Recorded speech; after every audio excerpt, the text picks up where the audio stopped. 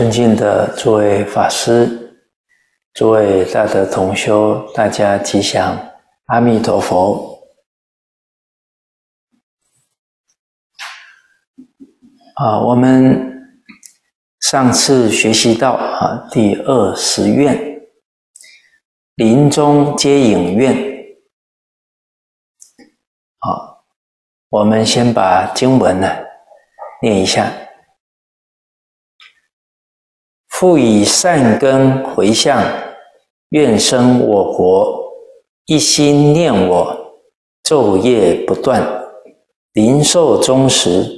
我与诸菩萨众迎现其前，今须臾间，即生我刹，作阿惟越智菩萨，不得是愿，不取正觉。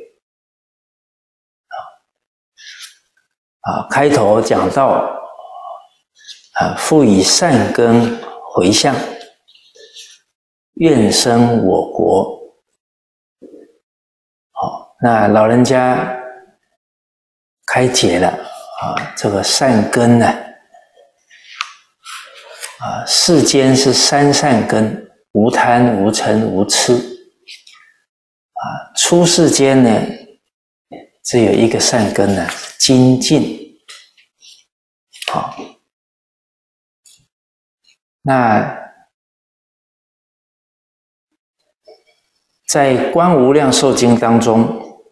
啊，为我们开示啊，要修净业三福啊，那这样才是啊有福报啊，有世出世间的福报啊。我们常说要正助双修啊，这个善根回向啊。愿生我国，这个算是助修啊！啊，一心念我，昼夜不断的，这是正修了啊！正助双修。那老人家开解这个三福啊，我们前面呢也都有讲到啊，尤其提到啊第三福啊，发菩提心。深信因果，读诵大乘，劝进行者，呃，这个都是出世间的善根，都是精进。啊，这个发菩提心很重要啊！啊，一发大心啊！超过修行力劫呀，哦，所以这个发心的功德很大啊。那老和尚在一百三十页提到了啊，这个三福是三世诸佛啊敬业正因啊，想想看呢，多么重要，决定。不能疏忽，啊啊，也比喻到了，就像盖房子啊，没有打地基啊，盖不上去啊，它会垮掉，会倒掉啊，不能成功啊。我们现在修学啊，不能成就啊。啊，很多时候是忽略了基础，啊，所以老人家一直在强调啊，要扎三根，啊，也是对我们这个时代应激的说法，啊，啊，尤其强调啊，啊，这个善男子、善女人，啊，敬业三福第一福是标准，哎，一定要。老老实实啊，下功夫啊，孝养父母啊，奉事师长，哎，慈心不杀啊，修十善业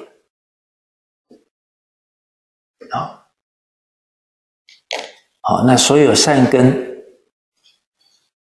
啊，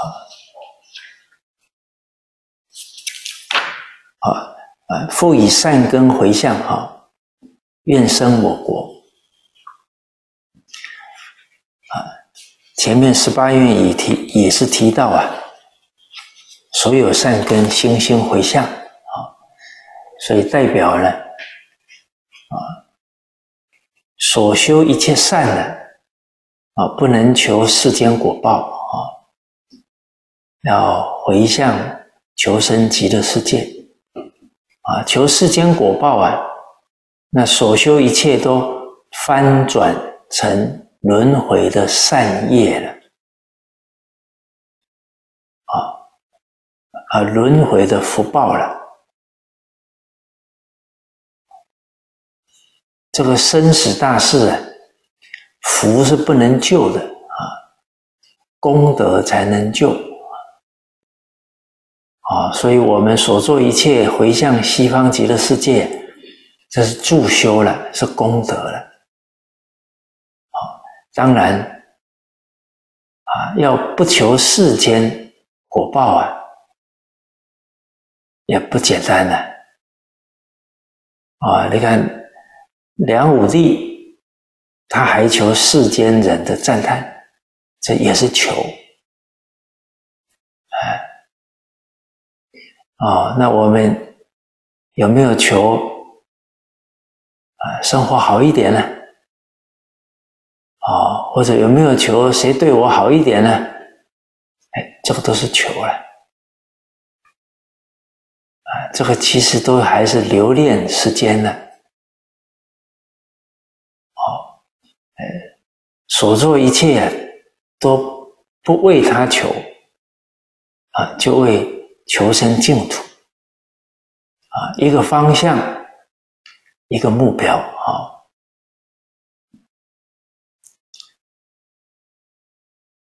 好，那愿生我国啊，一心念我，昼夜不断。啊那一心念我，昼夜不断呢？这两句是指持名念佛。好，在一百三十一页最后一段啊。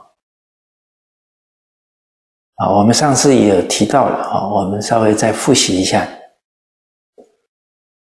念佛要紧的是啊，一心称念阿弥陀佛。一心就是心无恶念啊，心。你呀，若有一个杂念呢，就不是一心。一心是专志啊，心不缘任何事，这才是一心啊。心里绝对不攀缘其他的事啊，只缘这一句佛号，只缘西方世界一正庄严。哎，这样专注啊，啊，专很重要啊。老和尚也常比喻啊，啊，你一柱光照下来啊，哦，不会把这个纸啊给烧起来了啊，但这一束光啊，它透过一个放大镜啊，啊，把这一束光。汇集到一个点上，啊，连钢板都可以穿透，这是砖的力量啊，换句话说，你想啊，想阿弥陀佛，你念念阿弥陀佛，你拜拜阿弥陀佛，啊，才称呢一心称念。啊，就依照这个方法，先从事修。啊，我们讲的浅显一点呢，啊，念佛人心要清净，啊，清净到什么程度呢？不怀疑，不夹杂。所以念佛啊。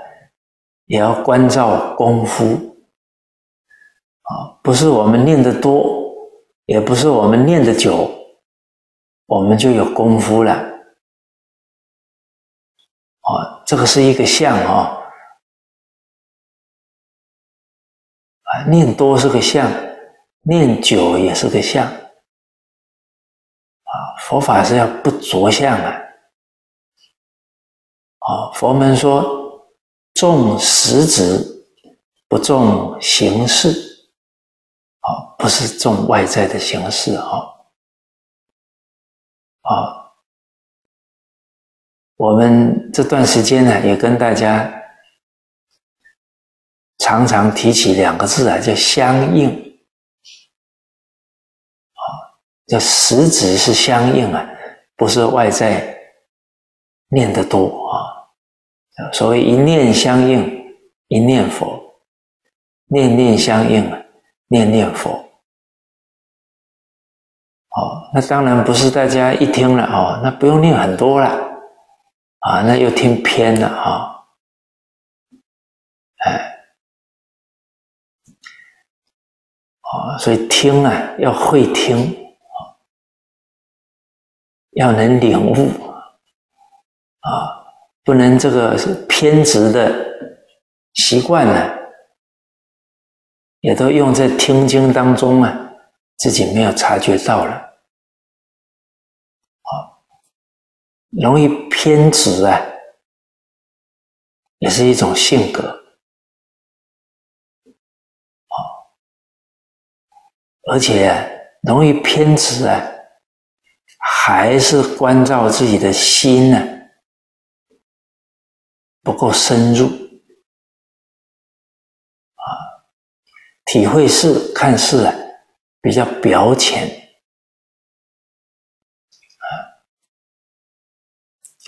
啊，哦，所以念佛的功夫啊，体现在心清不清净啊，有没有夹杂啊？这些杂念就不夹杂啊，不怀疑。这才叫净念啊！啊，大势至菩萨教导的净念相继啊，觉明妙行菩萨教导是不怀疑、不夹杂、不间断啊啊，这个不怀疑、不夹杂呢是净念啊，不间断呢是相继。啊，所以这些祖师们的教导啊，它都很相应啊。啊，所以从早到晚呢，要保持清净心。啊，这当然不是一桩啊容易事。啊，要晓得啊，这是从凡夫一生做佛啊。啊，这是当生成就的法门呢！啊，凡夫一生做佛，哪有那么简单，那么容易？哦，哎，就可以做佛了。但比起其他法门呢，那念佛法门最容易。实在也不是很容易啊，所以这个易行道啊，我们听念佛法门是易行道啊，可不能一文解义啊。啊，易行道啊，很容易啊，起的这个念头啊，会掉以轻心呢。啊，比方我们看到这第十八愿，啊，一心信要啊，欲生我国啊，自心信要啊，欲生我国，乃至十念，哇，十念就可以往生了。哦，这看到这个愿文了，产生了，反正我念十声就可以往生了。哦，这样去解经文呢，就很危险了。啊，临终十念要很有把握啊，那哪是临终的时候才开始念的？啊，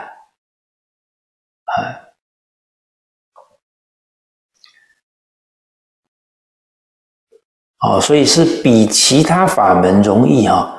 不是说它简简单单就可以修成了，所以难与易呀，在乎自己呀有没有这个认识，有没有决心啊？果然认识清楚啊，下定决心，事情就不难。啊，因为天下无难事啊，只怕有心人呢哎，果然认识清楚了，哎，什么认识清楚呢？哎，清楚啊，轮回可怕，啊，不想再搞轮回了，啊。真为生死发菩提心了啊！以身信愿持佛名号了，我不想再搞轮回了。哦，哎，还认识到什么？不想搞轮回啊，得要断见思烦恼啊！但我断不了啊。第一个身见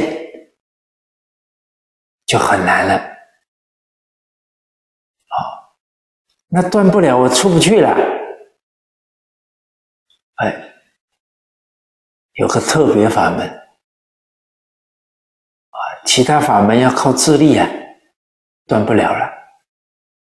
啊，靠佛的四十八愿的加持啊，其他法门是速出三界啊，要断见惑、思惑，出六道轮回。啊，念佛法门是横出啊，不用断烦恼啊，不用断见思啊，能够直持名号就可以出去了啊。这个六道当中啊，只要有执着就出不去了啊。但是这个法门，你可以执着这一句名号，直持名号。可以，可以先接到极乐世界去啊！啊，所以认识到呢，除了这个法门呢，出不去了，那就会感阿弥陀佛的大恩大德了。好，然后会老老实实的死心塌地修这个法门。学这个法门呢，啊，这认识的深的话，啊，就不会分心了，啊，还学这个学那个了，哦，而且下定决心了，啊，不再搞轮回了。啊，那有这样的认识跟决心啊，要成就就不难了。啊，老和尚也有观察过，啊，这个净土圣贤录啊，里面有很多成就的人呢。啊，老和尚观察到很多位啊，都是三年。哎，看他们的年龄啊，应该不像啊，寿命到了，所以等于是老老实实修行啊，哎，三年有消息了，啊，阿弥陀佛透消息了，啊，他又不留恋世间了，哎，早一点去了，啊，啊，所以这个事情呢就不难。啊，因为我们真的肯放得下世间呢？啊阿弥陀佛不忍心我们在世间多受一点苦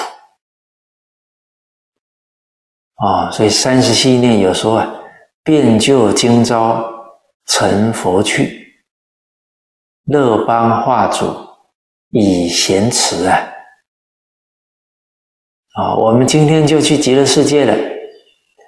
啊，阿弥陀佛，见到我们第一句话，啊，以贤慈就是你怎么现在才来啊？这傻孩子，你怎么枉受轮回苦？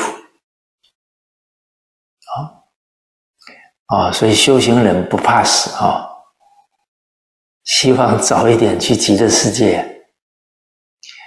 啊，大家有没有感觉到现在这个世间，世间无常啊，国土为脆呀，啊，最近以巴冲突，啊，你看一个大楼就瞬间就整个都垮掉了，伤亡很严重啊，这个世间的共业不小啊。啊，当然，我们遇到这个境缘呢，我们也是升起慈悲心，啊，啊，念佛啊，给罹难的众生回向，啊，啊，我们所遇一切境缘呢，都不要忘失的菩提心。看到这个境缘，我们也尽我们一份力，来回向啊罹难的众生。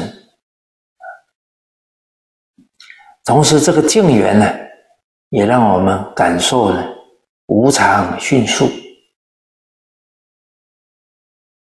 啊，我们不能现在啊生活啊物质啊都没有。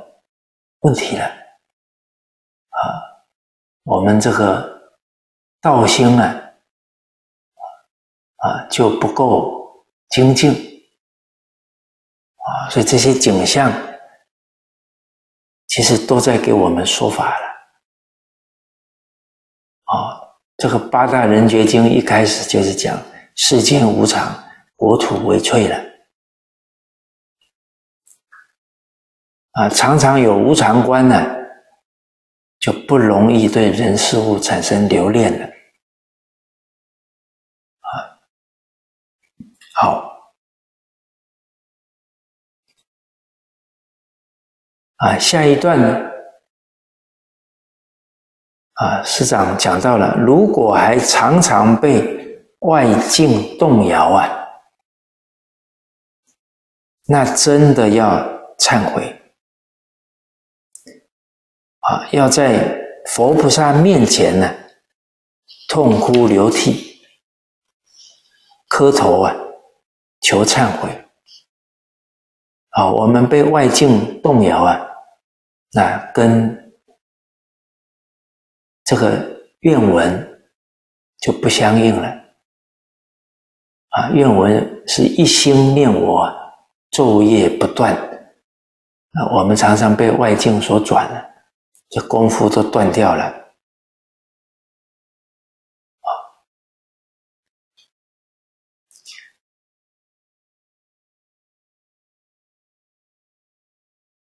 磕头求忏悔啊！啊，这个不被外境动摇啊，也不简单呢。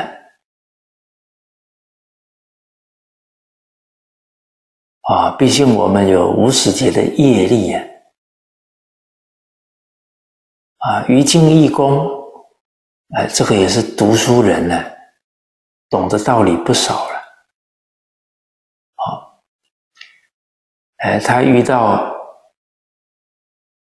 赵神也点化他了，啊，他也想好好努力了，他发觉自己的心呢，都是随境在转，啊，最后也是在观音菩萨像前呢，啊，磕头磕到流血，啊，然后发愿呢，啊，愿善念永存呢，希望自己的念头都保持正念，善力精进。啊，这种行善、断恶修善的心呢，啊，很精进不懈怠，啊，倘丝毫自宽呢，永堕地狱啊，啊，有一丝一毫懈怠，啊，自我宽恕了，啊，永堕地狱啊，他这个誓愿下得很猛啊。啊，那慢慢的啊，所以有决心了，一定能够扭转乾坤的。啊，哦，那当然我们能感受到啊，愚公的决心啊。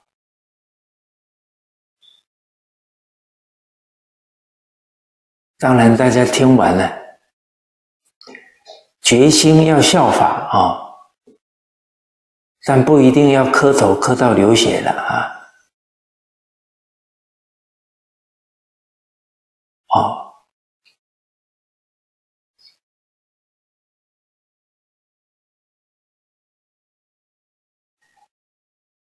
啊，我这个角度啊，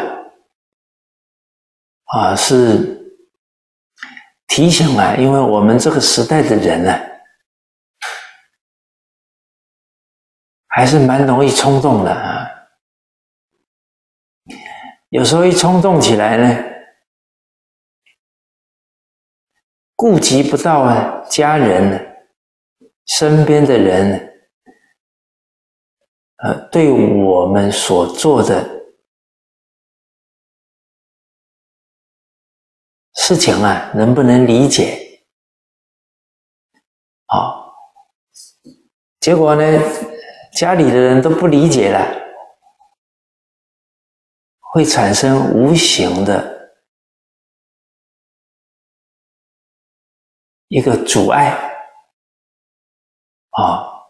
就啊，比方说我们在修了啊，我们就觉得我们要救家里的人，家里的人看我们修啊，觉得挺迷信的，是家里的人要救我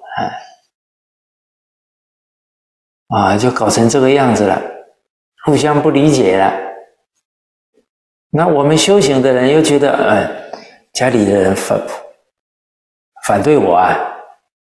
其实有可能是我们自己修行的太太执着了，好像如入无人之境啊。哎，我，这样的情况我接触了好几个了。啊，所以看到这个磕头磕到流血，啊，稍微提个醒啊，啊，不要做太多啊，家里的人理解不了的行为，最后呢，家里的人想救我们啊，哎，好，佛法首先下功夫的，就是放下自我。哦，佛法重实质不重形式哈，佛法的功夫不在外面的相啊，再放下，啊，放下是功夫，放下什么？放下我执。哎，任何时候啊，能够体恤到别人，这个就是我一直在放淡的。哎，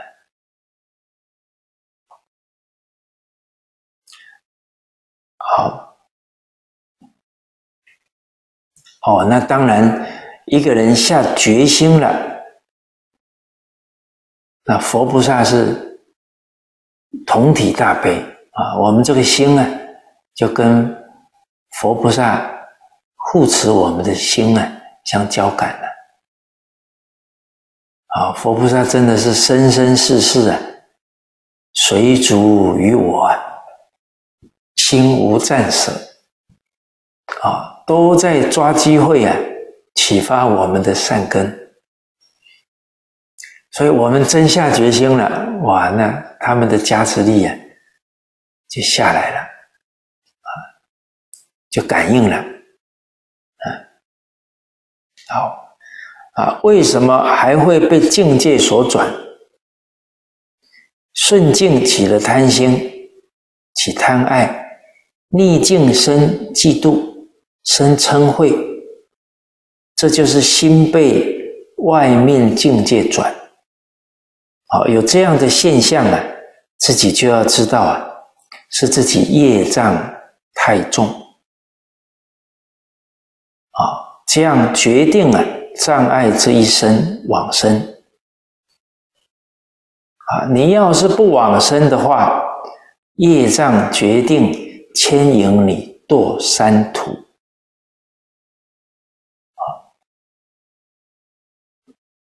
现在是人生呢。再过几年呢，就要到三恶道去，你说这多可怜啊！所以要把这个事实真相认清楚，真正提高警觉呀，这就是开悟啊，这就觉悟了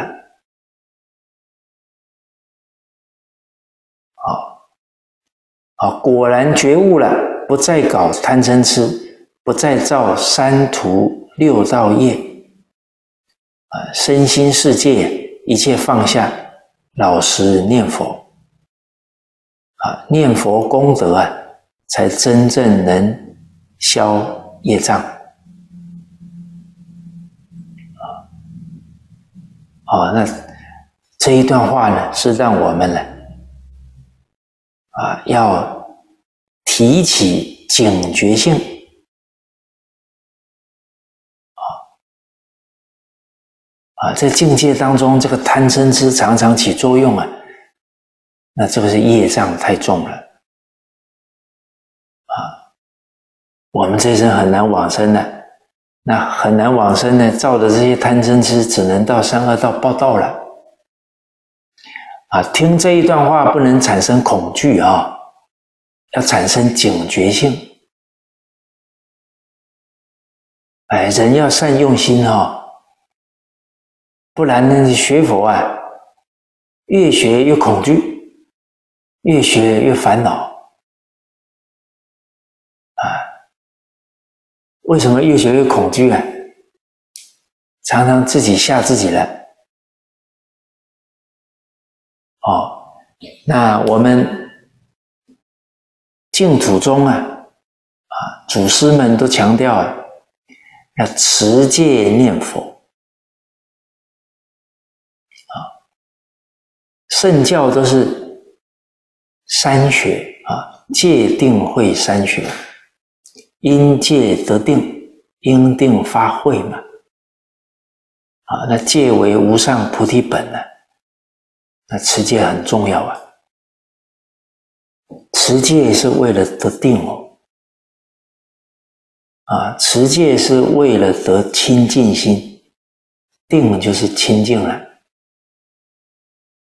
好，好，那比方说我们持戒了，啊，吃的很严，可是常常看别人呢。就觉得，哎呀，你看这个犯戒，那个犯戒，那心就不清净了，啊，那这个戒也也破掉了，心不清净了，哦，哎，这是一种持戒的状况，所以我们做什么事要知道目标是什么，不然还是学在相上了。哎，有的持戒啊，结果又不是一持啊，贪嗔痴全没了，身口意都不造业了，哇，哪有这种人啊？哦，那是颜回转世的，不二过了。啊，一般要突破一个习气啊，那得不计成败，不顾生死啊，冲过去啊！啊，所以啊，他持戒了啊，有犯了呢，他就恐惧的要死了。哎呀，我要堕。堕落了，所以持戒造成他的恐惧越来越强，越来越强了。哦，那这个就达不到持戒的目的了。啊，那会陷到那个恐惧去纠结了，啊，甚至于会沮丧啊、自责啊、怀疑自己了。啊不能让这些烦恼相续啊！好啊，我们啊用心去修行了，但还是有可能会犯戒了。好，那啊犯了十恶了，犯了啊，还是下决心啊，后不再造。但是呢，不要一直在纠缠这些。做过的错事了，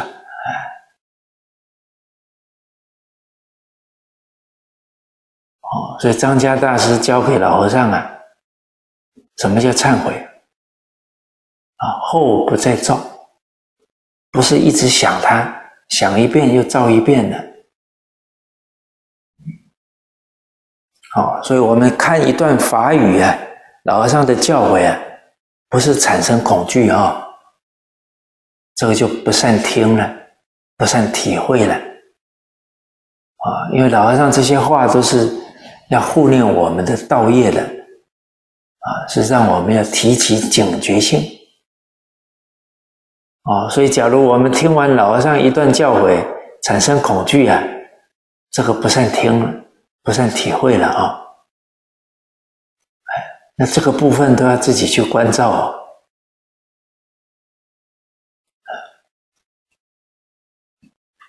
好，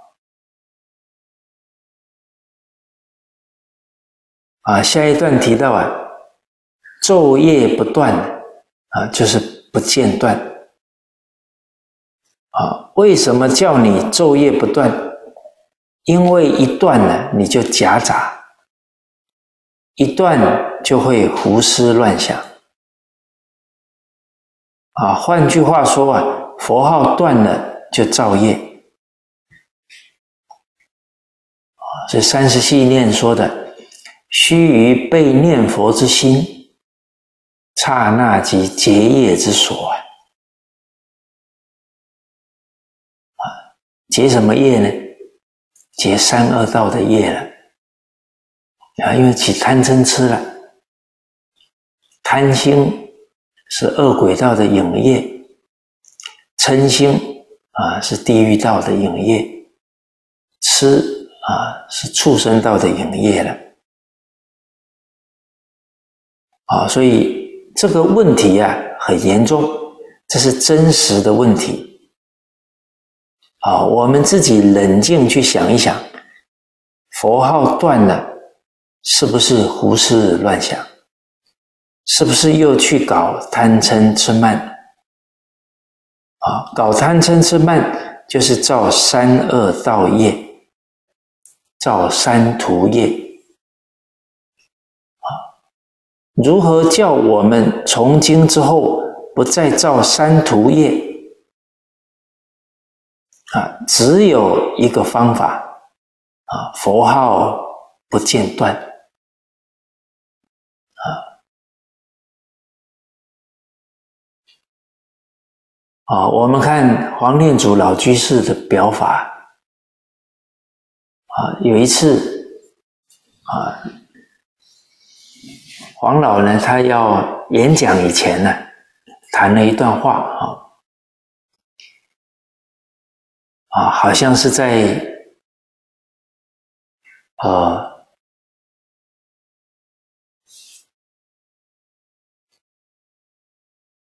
新生路啊，新生路里面。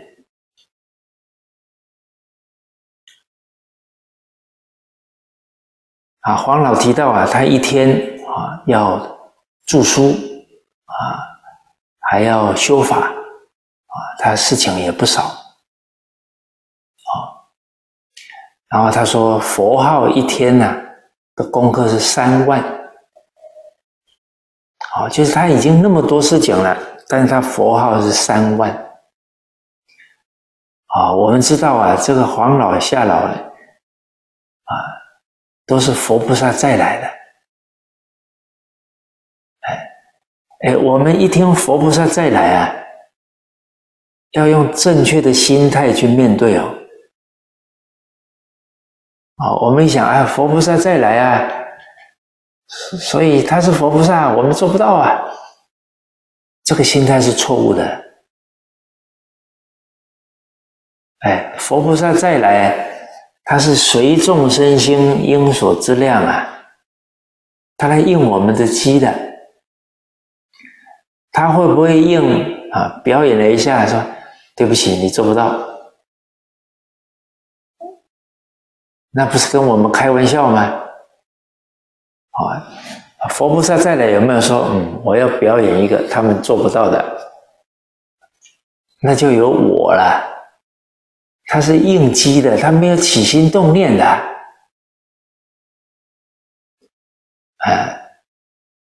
所以既然是应我们的机的，就是对我们最重要的提醒。哇，你看三万啊，后面。要往生前几个月呢？一天多少？十四万声。哎，这些表演给谁看的？要不再造三途业，只有一个方法：佛号不间断了。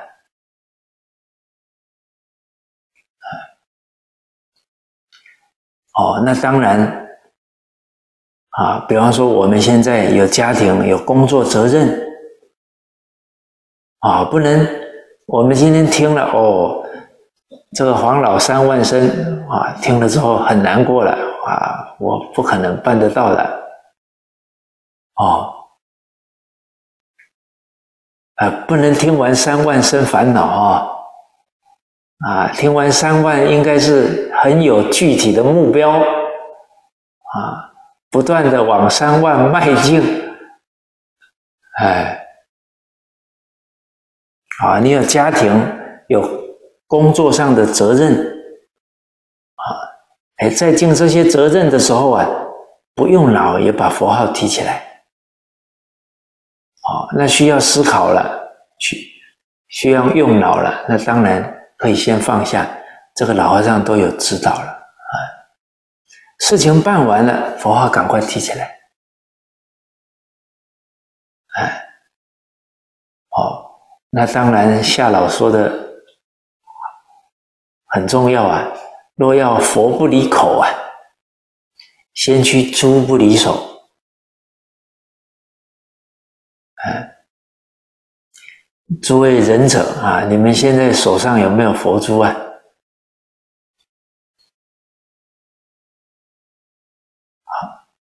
哎，这个只得自己去检查哈。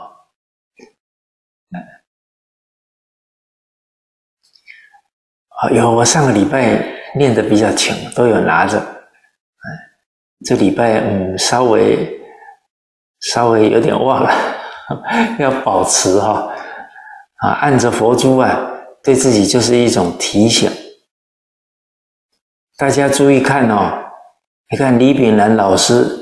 他那个佛珠随时都带在身上，表演给谁看的？啊，所以这些大善之事都是同体大悲啊，给我们做了好多表演呢，我们不能视而不见呢，啊，得要珍惜他们的提醒，企鹅效法。那当然呢，我们必须要专注做事了。佛号虽然放下，但真心不能放下哈。念佛用真心，这个念字是金心，心上有佛哈。你真的办事也要用真心啊。那这样我们的真心就没有间断了。啊，处事待人。生活工作都用真心啊，念佛的时候是很很相应的。这一句佛号就是自己的自信啊，啊，这句佛号是无量光、无量寿啊，宏明正章自信啊。你平常做事都是用真心啊，这个从实质上也是念佛啊。啊，生活是念佛，工作是念佛，应酬是念佛，处事待人接物，没有一样不是念佛。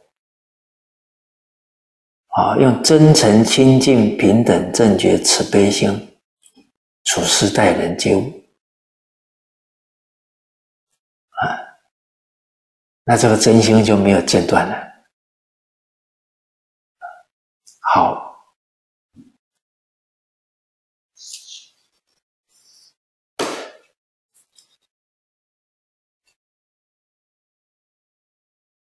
啊，所以读到这一段经文，啊，一心念我，昼夜不断的，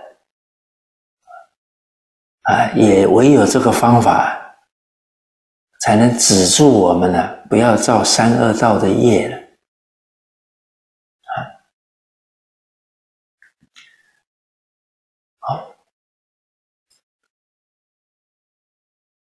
我们这一生呢。究竟是想往生西方极乐世界，还是要去做恶鬼、变畜生、堕地狱？这个问题呀，摆在我们面前，由我们自己选择。啊，这个三途一堕五千劫呀，啊，所以能念三恶道苦。能念轮回苦啊，这个就是菩提心了。啊，《劝发菩提心文》里面有讲念生死苦。啊，这一篇教诲啊，大家要多念哦。啊，因为菩提心是修行的主帅啊。醒安大师一开始就引《华严经》了，说到忘失菩提心，修诸善法，是名魔业啊。忘失就是魔业了，况没有发菩提心啊？好，发了还要保持它，不能忘失了。好，那祖师有说到啊，这个菩提心。必有因缘，方能发起。好，那一开始就是念本师恩啊，念父母，念师长恩。啊，所以老和尚常说：“念念不忘孝亲尊师，那就是念念不忘菩提心了。”啊，其中有一个因缘就是念生死苦，啊，真为生死而一想到地狱的恶报，啊，登刀山也，则举体无完肤了；攀剑树也，方寸皆割裂，啊，这这些地狱的罪报，啊。阿罗汉想到这个地狱苦啊，流血汗了。啊，江一直老师画地狱变相图啊，我们看的这个警觉性很高啊，不能堕下去了。好，常念地狱苦啊，修行就会精进了。若念地狱之苦啊，精进自身呢，啊，哦，所以啊，问题摆在我们面前啊，由我们自己选择了。如果要选西方极乐世界一生成佛啊，这一句佛号就不能间断。好，啊，诸位要晓得啊。打佛七是日夜念一句佛号不间断，啊，就透过打佛七提升念佛的功夫啊，绝对不是白天念佛啊，晚上可以睡觉，一支香下来之后可以聊聊天啊，杂心闲话，这没有用啊。啊，印光大师在灵岩山的道场啊，是一支香接着一支香念佛，当中没有休息的。啊，不像我们现在啊，念一支香休息二十分钟，让你去造三途业。啊，佛期当中啊，佛号日夜不间断的。啊，念累了，只能在旁边坐着休息一下。啊，衣袍啊不能脱掉，稍微休息一下，精神振作起来，赶紧接着念。啊，大家轮流休息。啊，使念佛堂啊，佛号不间断。啊，是这么念佛的。啊，真正念佛堂啊。这一句佛号决定不间断，长年累月，怎么念？分班啊，有值班的，值班的要出声啊，不值班的看你的精神体力啊。如果精神体力好，跟着大家一起念啊。夜晚呢也是分班。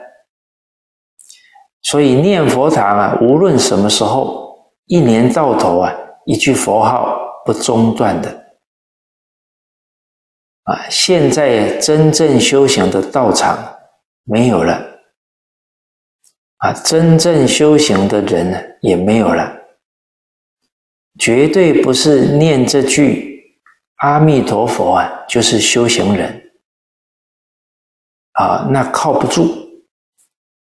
啊，只可以说啊，是修行的样子，啊，是不是真修行啊？不一定，啊，装模作样有人，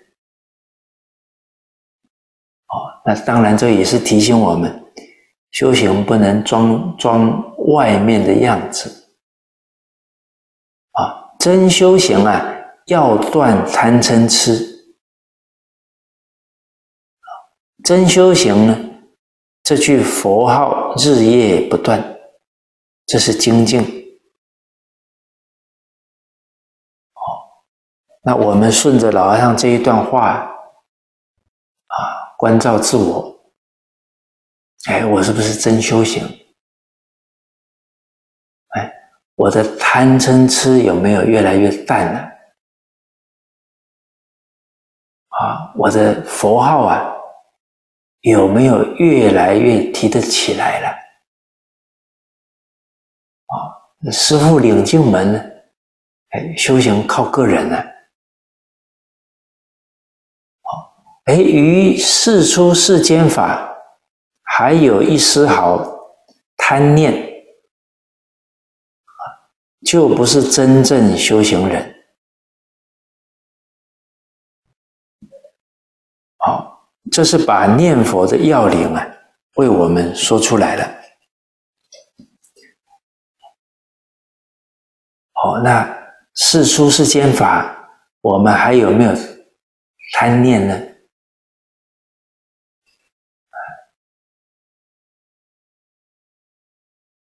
三十七念有提到啊，诸苦皆从贪欲起。哦，所以我们。关照关照啊！这一两个礼拜啊，我们有没有生烦恼？哎，有没有心情不好？啊，有心情不好啊，一定有贪求，因为贪不到了，心情就不好了。哦，所以我们经历了烦恼了，要知道问题出在哪。哎，我为什么会心情不好？你你不把原因找到了，你下次还犯呢？哎，心情不好是烦恼，太高兴了也是烦恼。哎。太高兴了，就是你很在乎的满你的愿了哇，激动的要死了。哎，这个都是烦恼啊，一定对世出世间还有贪，才会产生这些烦恼。哦，所以我们修行的人呢，不能稀里糊涂的，哎，我怎么心情又不好了，也不知道原因出在哪。啊，都要从自己心源隐微处啊，去关照，去放下。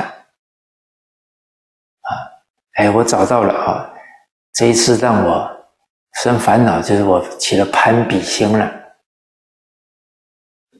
我以后不再起攀比心了。啊，哎，今天这个攀比心是。拿先生跟人家比了啊！哎，我从此刻开始，不止不拿先生跟人家比，孩子我也不跟人家比啊，都都都不再起这个攀比心了。哇，那这叫会修行了。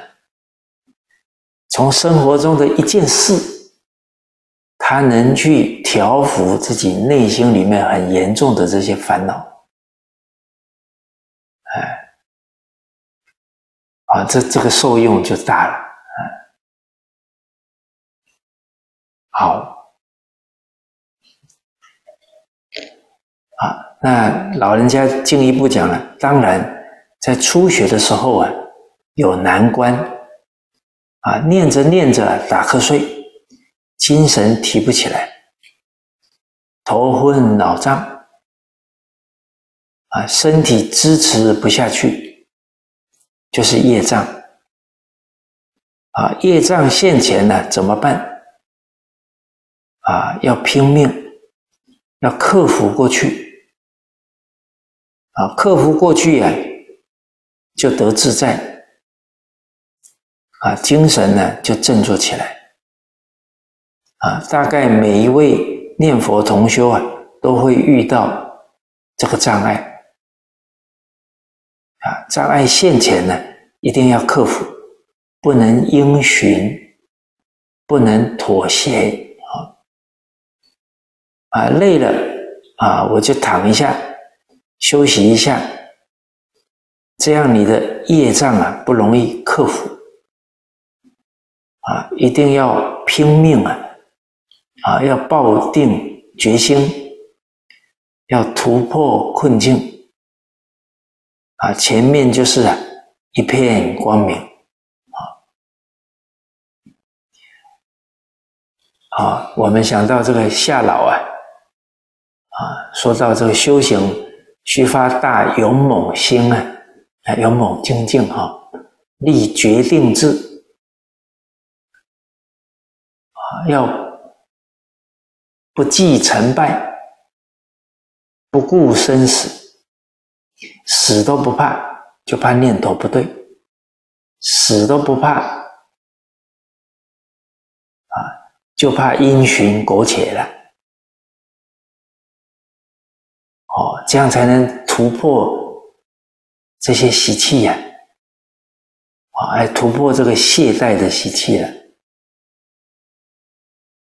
啊，啊，当然遇到这些。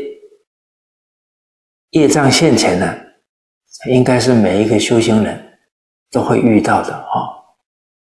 啊，所以常常想到祖师这些提醒啊，啊，不计成败，不顾生死，调整自己的心，啊，慢慢都能够突破过去啊，啊，当然也讲究方法啊，比方说打瞌睡了，可以起来拜佛，调调整调整，哎。好，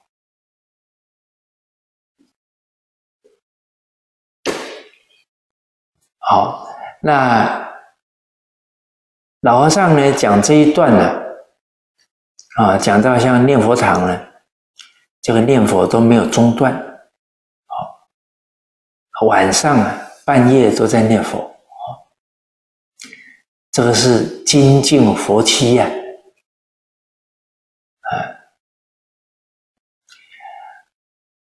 哎，李炳南老师啊，曾经啊，就来到台湾之后啊，有办过一次精进佛期啊。结果有同修呢，有出现情况，哦，后来老人家又把它调正常了。哎，之后这种七天不睡觉的精进佛期啊，就没有再办了。哦当然，首先我们可以感觉到啊，古人呢，啊，比我们这种精进啊的功夫，啊，比较深哦，而且他们呢，心地呀比较清净。哦，我们现在生活的环境啊。相对复杂，我们妄念也比较多啊。啊，我们现在是内的烦恼，外的诱惑啊，都比以前多不少。哎，哦，所以这种很精进啊，都不睡觉的啊，这个。旁边假如没有啊很高的人护护护场啊，哦，那出现什么情况啊？这个就不好说了，啊，啊，所以老和尚啊，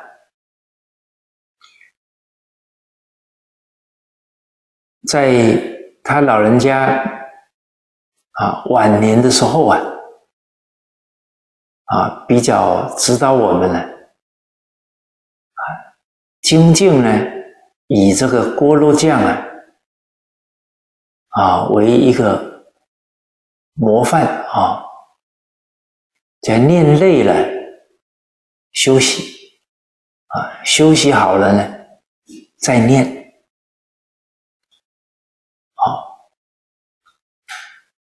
这样不容易啊。出现太极端的情况啊！哦，那当然，这个念累了休息啊，不能是偷懒啊，哦，不能是这个一躺呢就躺两三个小时爬不起来啊！哦，就是这个还是得要自己很不自欺的啊，依照这个原则去。去修行，哎，啊，好，好，我们任何的做法都还是要考虑到啊，啊，我们当前大众的一个状况啊，去应激啊，采取一些。方式方法，哦，不然这个有时候这个方式方法太强烈了，啊，不应当下这个众生的机呀，呃，可能造成一些情况就不好。好，那要带动大家呢，不断精进啊，那也可以是循序渐进啊去带动，啊啊，不要一次啊，啊那个要求太高了，啊啊，所以这个也是要拿捏得当，啊，教人以善勿过高啊，当使其可从。啊，而且我们毕竟是护持大家修行啊，啊，要很敏锐的能够体察到大众的状态，哎，哦，那比方我们也有听过，啊，说帮人家助念，啊，那要求啊。啊，每一个来助念的人都要持戒啊，而且呢，一个礼拜才能回家一次啊，一个一个月才能回家一次，好，哎，就是定的标准呢，没有考虑到参与者的实际情况，对，要求的很高啊。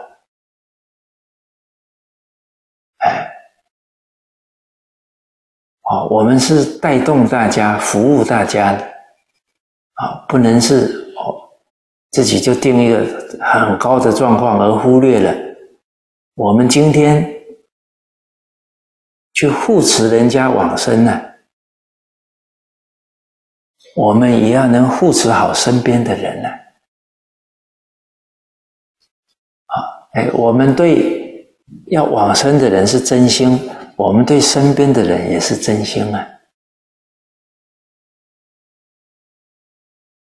真心是要体恤大家的家庭状况啊，而不是变成啊，我定了这个很严格的标准呢，来标榜，嗯，你看我这些来助念的水平都很高，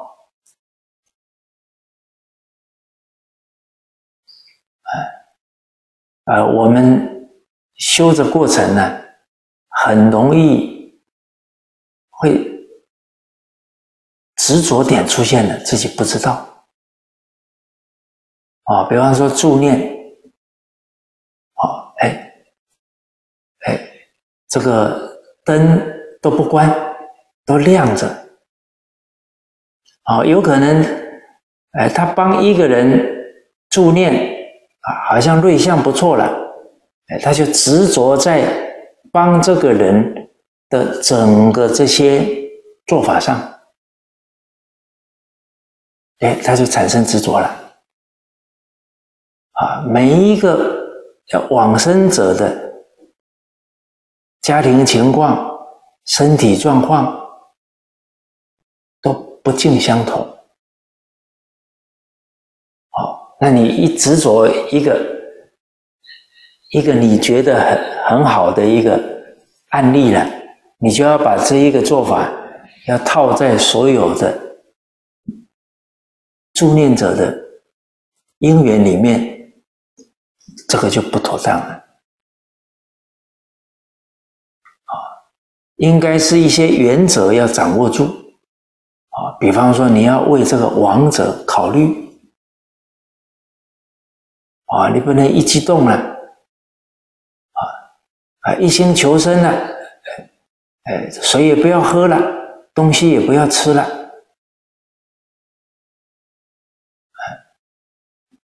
那你要看这个这个人他的体力的状况啊，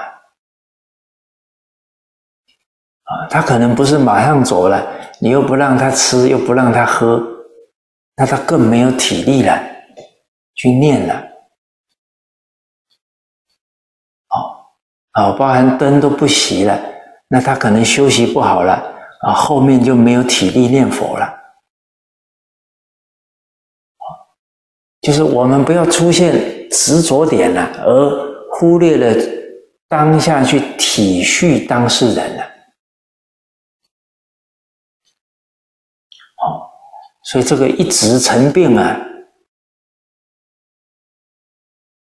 真的是我们自己要很关照、很敏锐，自己有没有出现一种执着点呢？啊，一定要怎么样？啊啊，人起这种心念的时候啊，其实就是有一种固执产生了，可能自己啊观察不到，啊，不然应该都很能柔软的去体恤当事人，甚至去体恤当事人家庭的客观的状态，啊，去应这个因缘。好，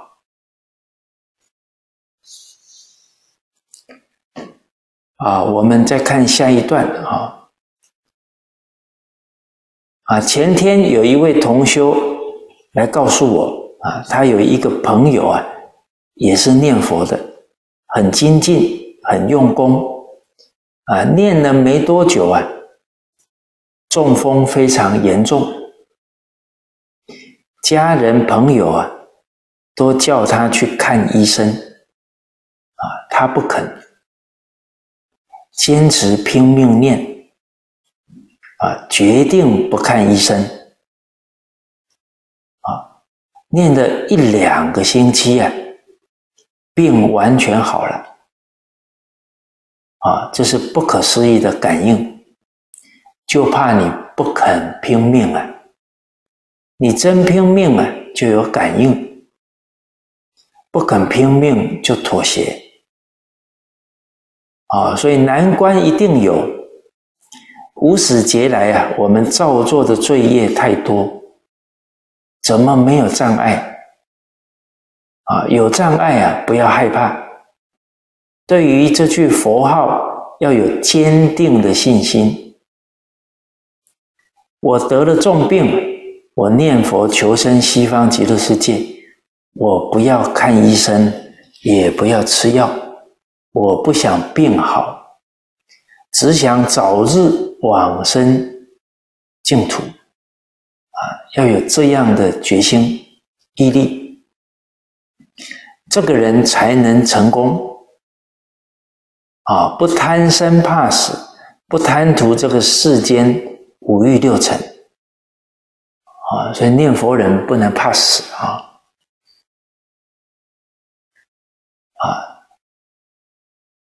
对死不恐惧啊！只有求生西方一念，越早越好，越快越好。要有这个心呢，才是真正发愿、切愿嘛，愿意去啊，愿生彼国。好，好。呃，陈德看这一段呢，有想到呢，黄念祖老居士啊，他有一次啊，在修法啊，结果吐血了啊，那当然这身体本身呢，也跟业力有关呢，哦，那。这黄老想到了啊，这个修法呢是已经啊答应了，可能是答应啊这些有缘众生呢啊帮他们修法了，哦哦，那黄老他们呃信守承诺啊，哦，他说死也修，他不怕死了。哪怕我今天死了，我也修了，哎，结果啊，继续修啊，啊，这个咳血的频率啊，就越来越少了，啊，哎，到了早上啊，就慢慢就不咳了，啊，黄老说啊，啊，假如那个时候啊，躺下去了。那可能就起不来了，好，那这个算呢？啊，把这个业冲过去了，啊，他有愿力啊，啊，把这个业冲过去了。哦，就像这一个同修啊，他中风啊，他也是业现前了啊，但是关键是什么？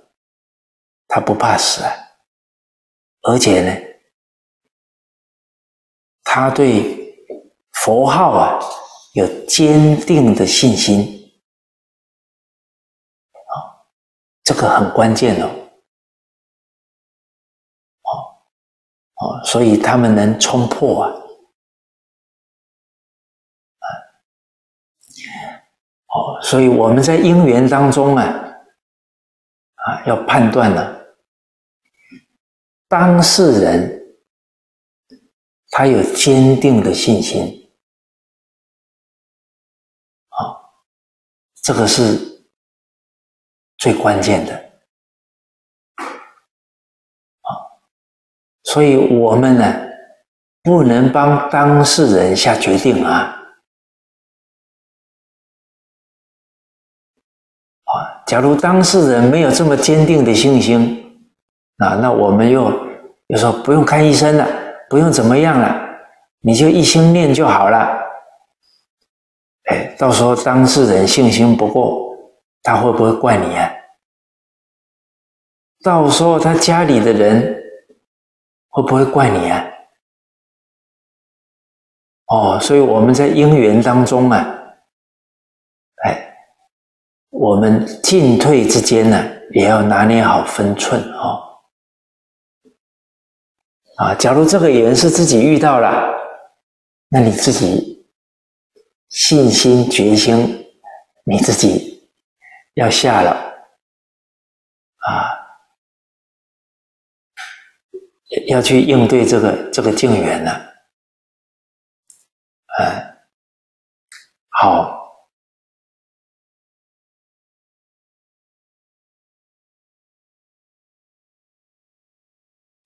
哦，所以这个在因缘当中啊，哦，我我们看了这个事例啊，啊，也很佩服这一位同学他的信心跟决心哦。但是我们也要很客观的了解这个因缘的状态。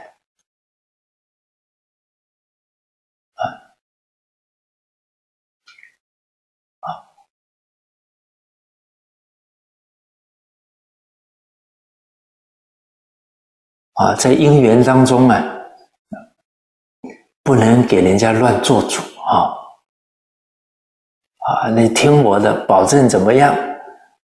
好，那这这这样的一个做法，还是要慎重啊！好，啊，我自己呀，有认识的一个同修。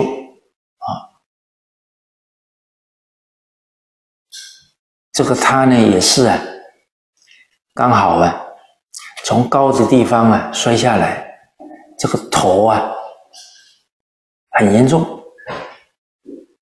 啊，那他自己啊对佛号很坚信啊，结果这个他撞得很严重啊。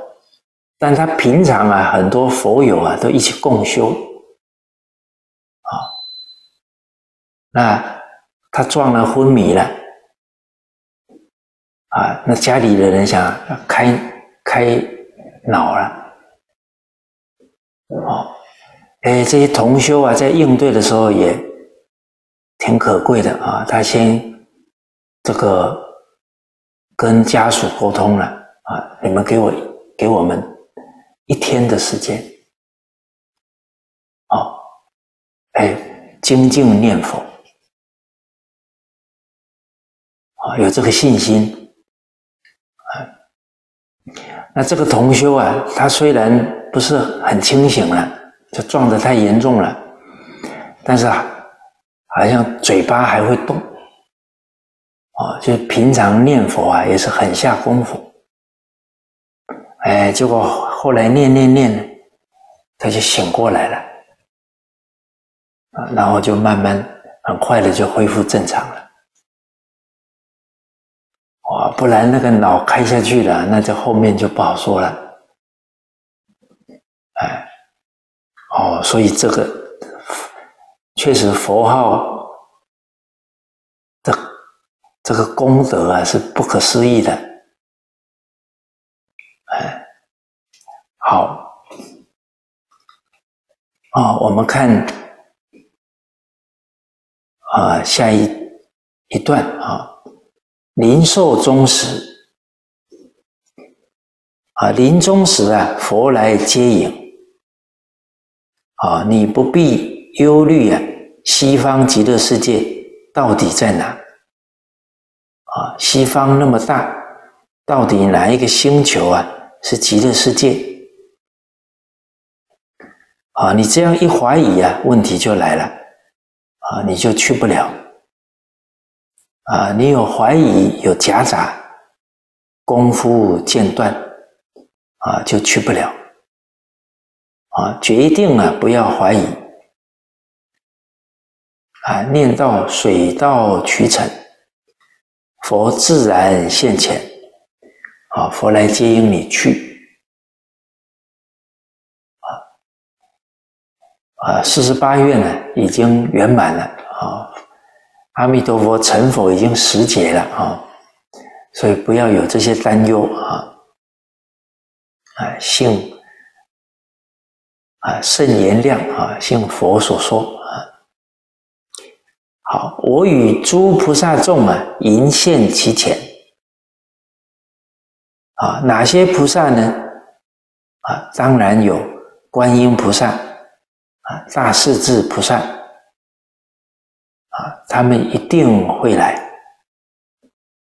啊，因为你常常念他，你常常想他，他跟你有缘啊。除他们之外啊，还有不少菩萨跟三圣一起来迎接你啊，一起来的菩萨与你都有关系的。啊，与你没有关系、没有缘分呢，他不会来的。啊，是什么关系？啊，皆是多生多劫中啊，哎，你的同修、你的眷属啊，他们早就往生了，现在看到你念佛圆熟啊，他们很欢喜啊，跟着阿弥陀佛啊，一道来接引。啊，诸位要晓得啊，到西方极乐世界决定不寂寞啊，熟人很多啊。我们过去生中啊，生生世世不知道有多少同参道友啊，他们精进念佛成功，已经往生了啊。我们不肯精进啊。还打闲岔，堕落到现在这个样子啊！今天元熟了，他们会跟佛一道来啊！我们到达西方极乐世界啊，就像前面所说的啊，天眼、天耳、宿命、他心东，能力都恢复了啊！于是，一看就晓得啊。从前在哪个世界啊？哪一生哪一劫？我们是好朋友啊，老同参见面叙旧啊啊！你说西方极乐世界多殊胜啊，多热闹啊，不寂寞啊啊！换句话说啊，离开西方极乐世界。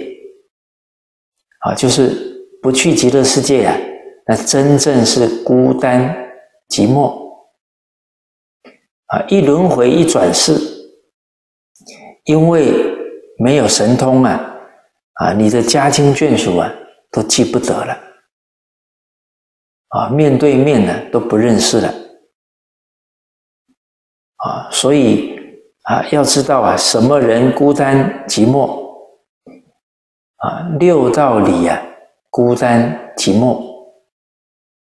啊，往生西方世界啊，不孤单不寂寞。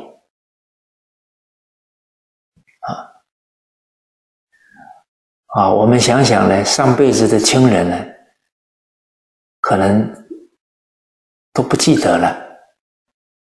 啊啊，道路不同了。啊，前世造的因不一样了，这一世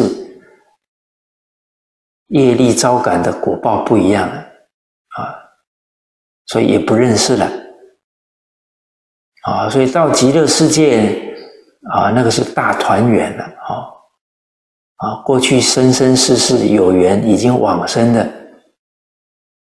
亲戚朋友都聚会了，哦，而且聚会干什么啊？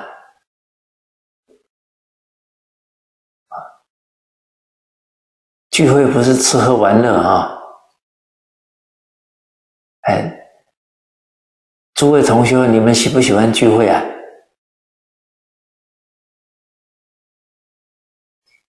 啊，喜欢聚会是因为喜欢什么？喜欢可以介绍净土法门啊啊，可以帮助众生转恶为善，转迷为悟啊。哦，那这样的聚会可以哈，啊，所以老和尚说应酬是念佛啊，啊，生活、工作、处事、待人，连应酬都是念佛，啊，啊，假如喜欢聚会是，啊，喜欢吃吃喝喝啊，喜欢东聊西聊，哦，那这种喜欢呢就不是很妥当了哦。哎，这都要看得到，这些都是世间的贪着了，啊，哦，所以这个到西方极乐世界啊，大圆满啊，大聚会啊，是为了配合阿弥陀佛到十方世界度众生啊，好啊，所以我们。这个月圆的时候啊，要复习这一段寄语啊。但愿人长久啊，唯有念弥陀啊，亲眷永团聚，法界逍遥游，跟着阿弥陀佛到虚空法界啊，去度众生啊。好，我们在往生传上啊，看到初祖慧远大师。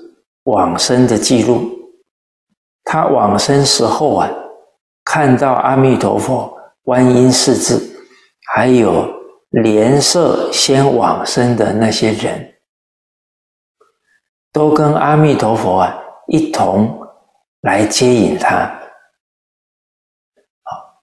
他只说出莲社已经往生的，哎，都见面，都来了啊。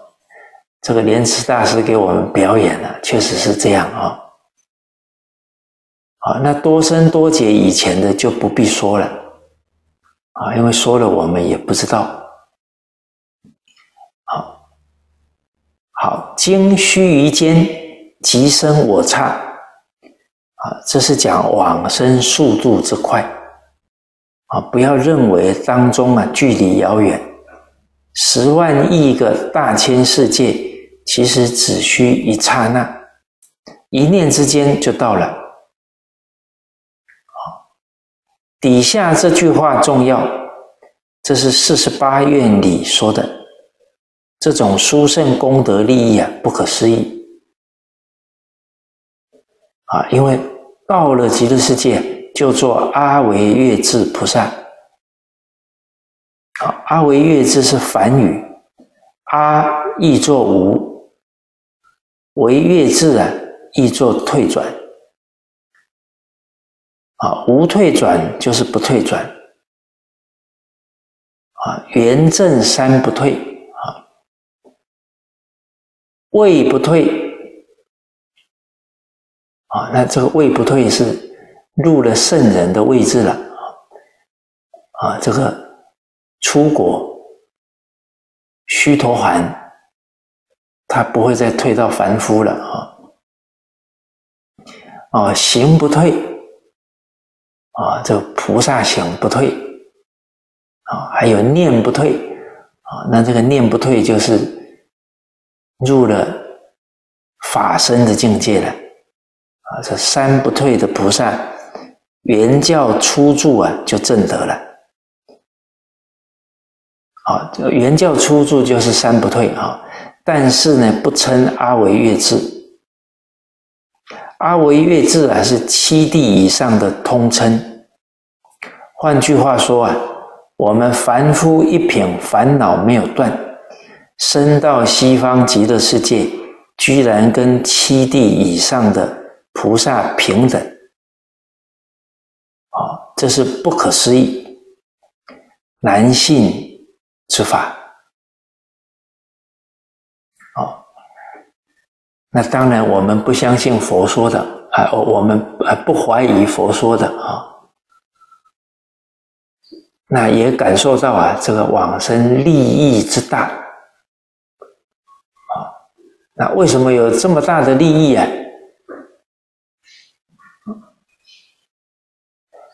那这是佛果地上的成就啊，果地上的功德啊。这个唯佛与佛乃能知啊，声闻意解思佛智，尽其神力莫能测啊！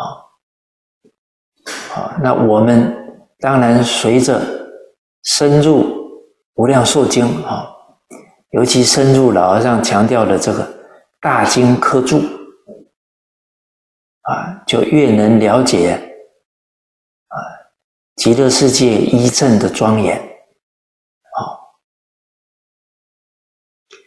好，那我们啊，德国晋中学会啊，哎，董丽啊老师啊，现在在复讲了，好像二零一四年课注啊，这四集啊浓缩成一集，哦，这个也是啊复讲老和尚的课注啊，这个都是精华啊，我们也可以很好的来。深入学习老和尚啊，这个二零一四年刻注啊，这个也是他老人家的法身舍利啊，常住世间呢，对我们的护持啊啊，那我们看到这一段愿文呢啊，我们假如利众的心切呀，哇，看到往生就说阿维月智菩萨。那会很欢喜呀，这一定要去呀，啊，才真的有能力呀，更好的来帮助众生呢。好，那我们啊，今天呢就跟大家交流到这里，好，谢谢大家，阿弥陀佛。